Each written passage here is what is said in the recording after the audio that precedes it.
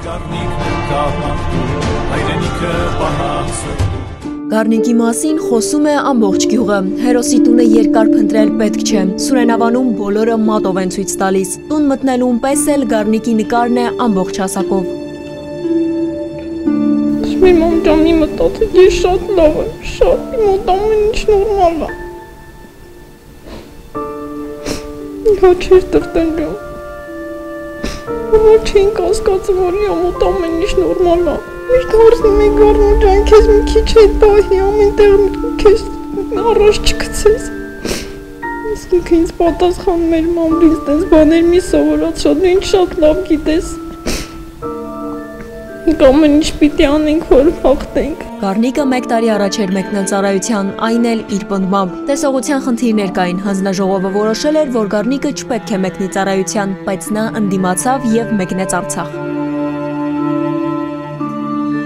Այս նկարը Լուիզան ձեռքից չի դնում։ Միասին երեքով վերջին նկարներ։ Տան ամենանկյունում էլ Գառնիկի նկարներն են, նրա շունչը, հայացքը։ Առանց իր այնքան հետաքրքիր կյանք դարձել, որ չես սպասում իր զանգի, որ էլ ինքը չի զանգում։ Միշտ իր խորհուրդներով ենք ապրում, միշտ ապրում եմ նենց, որ իրան արժանի լինեմ ու իր արժանի քույր լինեմ, որտեղ ինքը հիմա հերոս է ու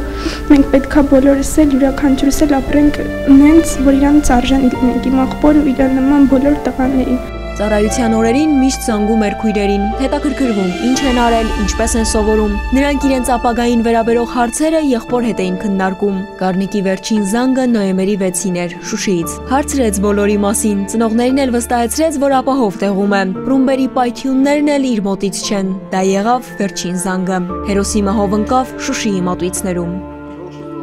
Գառնիկի տատիկի համար տունը դատարկվել է։ Խոհանոցից թորան սիրելի ուտեստների հոտն էլ չի գալիս։ Այդպես օր չլիներ, որ մեր տունը ընկերներ չգայի։ Լիքը Այն մեկը գնում է, այն մեկն է գալիս։ Ասում է, այ բալա, իսկ ան ընկերը դու որտեղից ես ճարես 19 տարեկան։ Ծիտաղում էր։ Հիմա սեղանի շուրջ ընկերները առանց Գառնիկի են։ Խոսակցության միակ թեման էլ Գառնիկն է։ Հիշողություններն են, հետո հպարտության խոսքերը։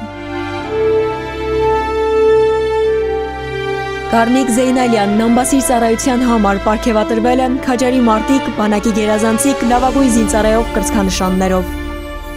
Ալադավթյան, Արամ Գրիգորյան, ժամը լրատվական։